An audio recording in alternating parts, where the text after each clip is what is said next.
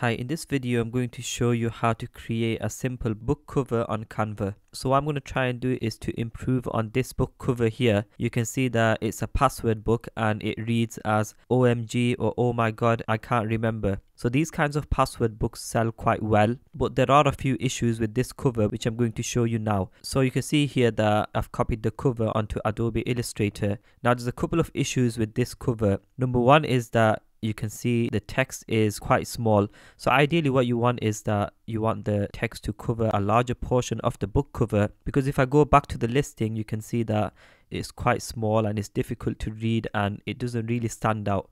So you need your text, you need the main parts of your book cover to stand out. So that's the first issue. The second issue is that you can see there's a shadow around the text.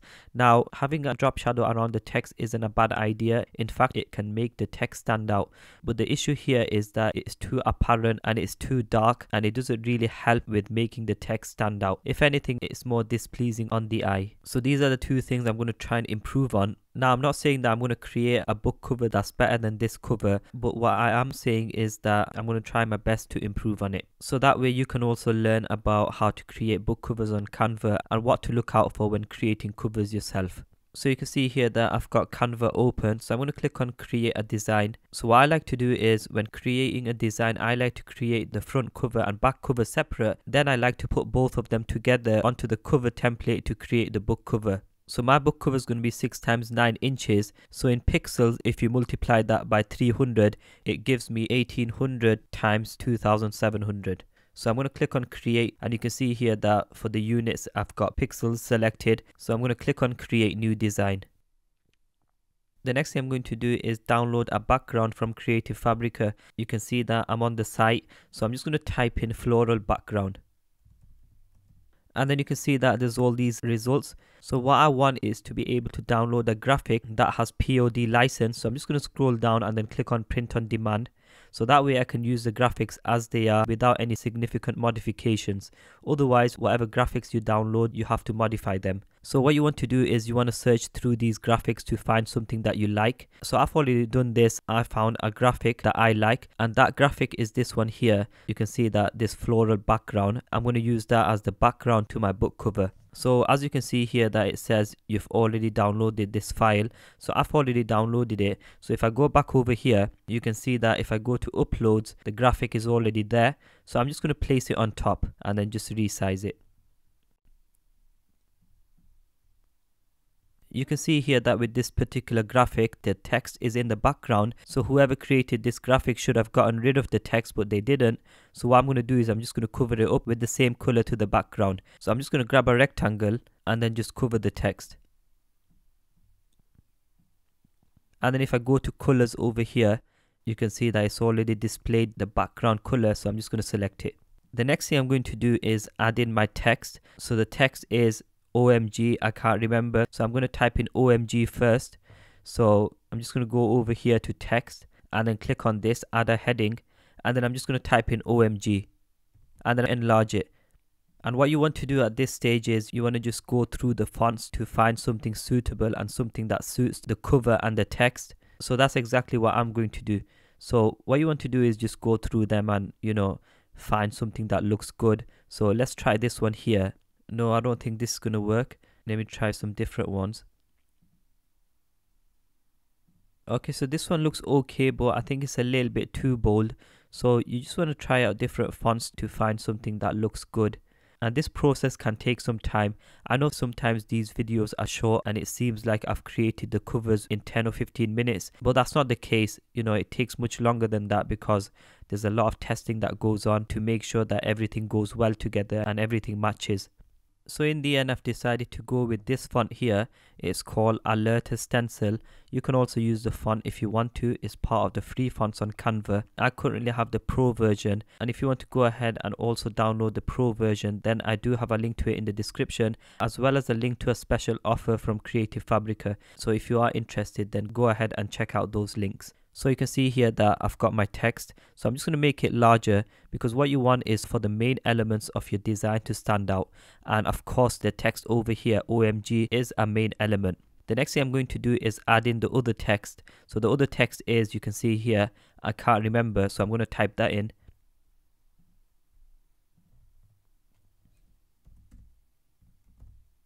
So either you can have this text in two lines as you can see here, I can't remember, or you can have it in one line. So I'm just going to put in one line for now. And then what I'm going to do is just change the font. So you can see here that this is a simple sans font, whereas this one here, I want a script type font.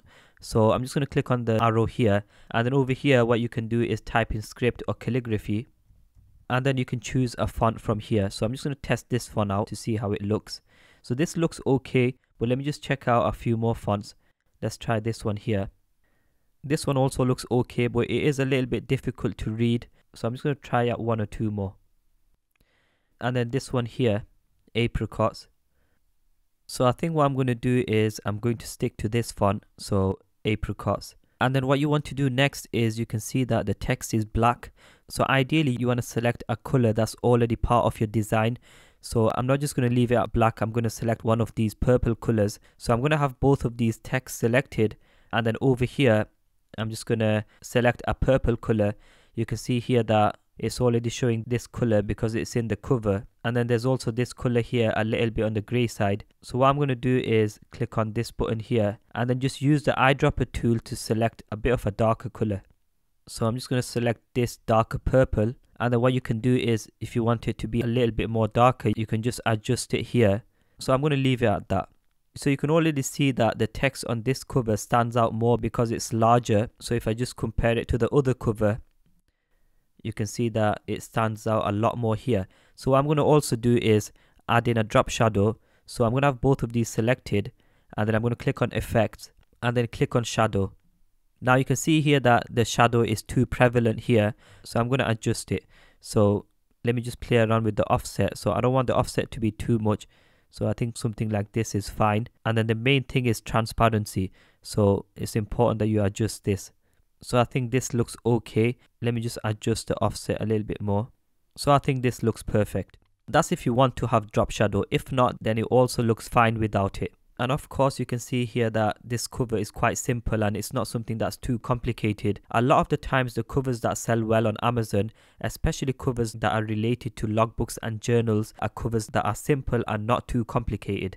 So my front cover is pretty much complete and what I'm going to do now is create the back cover. So I'm going to click on add page and then for the background all you have to do is just select one of the main colors that are on the front cover so what I can do is either select this pink color or select a purple color. So I'm just going to select a purple color. So this color here, I'm going to stick to this for the back cover. So now I have my front cover as well as my back cover. The next thing I'm going to do is download them. So I'm going to click on share and then I'm just going to download them as PNG. So you can see here that PNG is already selected. So I'm going to click on download.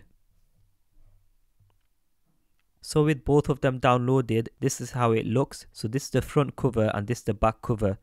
The next thing I'm going to do is create the PDF cover. So you can see here that I'm back on Canva. So I'm going to click on create a design and then custom size. This time it's going to be in inches. So I already know that seeing as my book cover is 6 times 9 inches, the total dimensions are going to be 12.5 times 9.25 inches. And of course, you're going to create your design and select the size based on the size of your book cover and page count. So I'm going to click on create new design. The next thing I'm going to do is place my template on top, which I already have uploaded. So I'm just going to locate it and then just place it on top. So it's this one over here. And then I'm just going to resize it to fit the canvas. The next thing I'm going to do is upload the front and back covers and then also place them on top. So firstly the front cover, I'm just going to resize it. I'm going to reduce the transparency temporarily. And you can see here that it's at the center of the cover which is perfect. And then just place the back cover on top. So once again I'm just going to reduce the transparency. And then you just want to make sure that the edge of it the right side aligns with the dotted line over here so this is fine. And then I'm just going to make it bigger.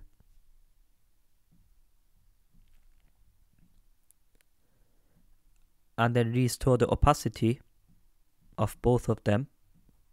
And then that's it. You can see that this is my cover complete. So I'm just going to create a copy of this. And then on the copy I'm just going to remove the template from the background. So this one over here, page 2 is my completed cover and I'm just going to click on the share button to download it. So I'm going to click on download over here. Make sure that it's PDF. So I'm going to use PDF print, select page 2 and then just download it. So here is my completed cover ready to be uploaded onto KDP. And that's it for this video. I hope you enjoyed it. And if you did, then don't forget to like it. And also make sure you subscribe to my channel for more videos like this.